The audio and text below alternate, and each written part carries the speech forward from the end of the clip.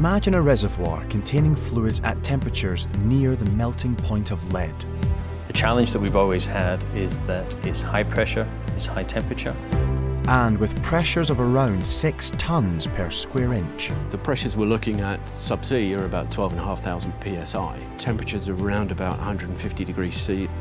This was the challenge faced by the operator Chevron and co-venturer ConocoPhillips in developing the Alder field.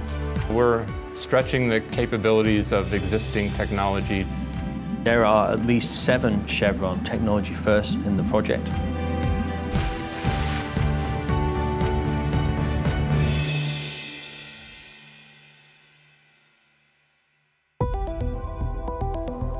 Alder was discovered back in 1975, so that's a long time ago. And to develop it in a cost-efficient manner that delivers the most value has meant we needed new technology, we needed breakthrough and innovation. I think we looked at it in 2000, we looked at it in 2006, uh, and this time in 2009 the technology was there and the capacity in Britannia, the host platform, was there as well to take it. Chevron decided to use advances in subsea pipeline design to tie the field back to the ConocoPhillips Britannia platform, some 28 kilometres away. Once the gas reached the seabed, it needed to be cooled. The subsea cooling loop we've developed specifically to cool the production flow from the well that comes out of the ground around about 150 degrees down to about 115 as it enters the pipeline. The thing with having the temperature at that point is we then need to keep it warm to prevent hydrates and keep the flow moving. The technology we've used here is pipe-in-pipe -pipe design, so that's an inner pipeline and an outer pipeline with a dry cavity and it's the uh, insulation we can put in that dry cavity that allows us to keep everything warm in the pipeline. The subsea system and topsides use some of the latest ideas and materials available and are a showcase for the UK's world-leading subsea manufacturing and engineering skills. Part of Alder, it's been really important that we leverage the UK talent and supply chain that exists here in country. It truly is a centre of excellence. So we put 70% of the total spend of the project into the UK local supply chain. So we have the trees from Leeds, the umbilical from Newcastle, the valves from Newcastle. The engineering was done in London with backup from Aberdeen and the, the main contracts run from Aberdeen. If all things are equal and there's a UK source, that's where we're going to go to because we really place high value on being the partner of choice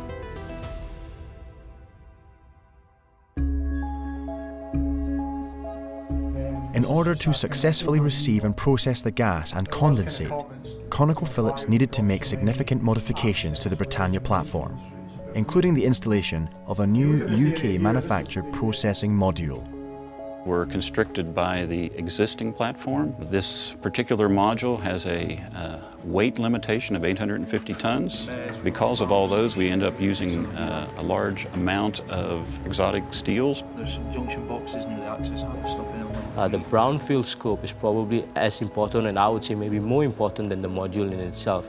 Having to come up with designs and then working and executing it offshore on a producing platform. The use of new techniques and modifying an operational platform made close cooperation between all parties one of the top priorities for the project. Number one is safety, incident injury free.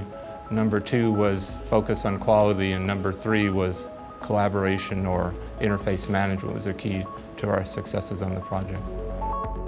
One of the key differences on the Alder project is the way that we've tried to include all levels of the supply chain as being part of the greater Alder team. We need our suppliers to work with us and make things happen. They have they actually stepped up.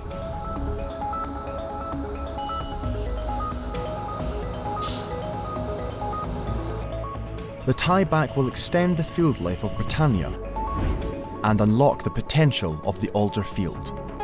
A lot of it is really tying back into pre-existing infrastructure that allows us to maximize the life of all of the pre-existing assets that we have uh, here in the North Sea.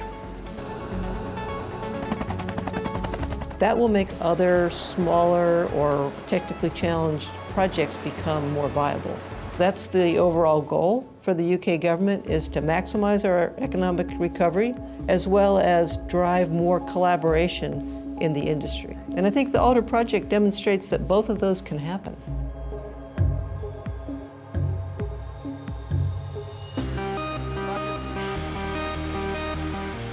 By developing a technologically challenging and marginal field, this Greater Alder team has set an example for future North Sea developments. That will prompt a lot of people, both inside Chevron as well as at other companies, to think, okay, how can we do that same thing to progress other opportunities in the UK that we otherwise might have just said, well, they're too small, it's too high a temperature, it's too high a pressure, we can't do it. Now they'll say, hey, we can do that. Technology is set to play an increasing role in unlocking opportunities for Chevron in the North Sea. I'm very pleased that we've managed to execute this project without any days away from work and serious incidents. This project has actually taught me that resilience is one of the main characteristics if you're going to be successful in all your endeavours. The highlight for me, I think, is the teamwork. It shows a commitment to the UK, commitment to the North Sea, and a commitment to everybody here that has worked tirelessly to bring this project to first gas. When people say something can't be done, we say just step back and let us show you how it can be. And this is a great example of that in the Alder project.